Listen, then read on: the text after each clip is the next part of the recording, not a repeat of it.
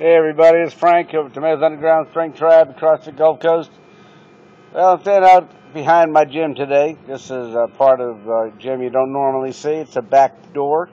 Um, actually, it's where people go to puke out in this grassy area.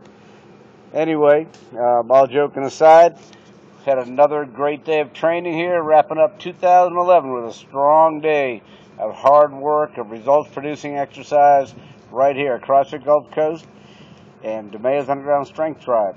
So to head off into the year 2012, I want to urge you to be mentally tough, train de-wussified, get strong, remember weakness is a crime, don't be guilty of it.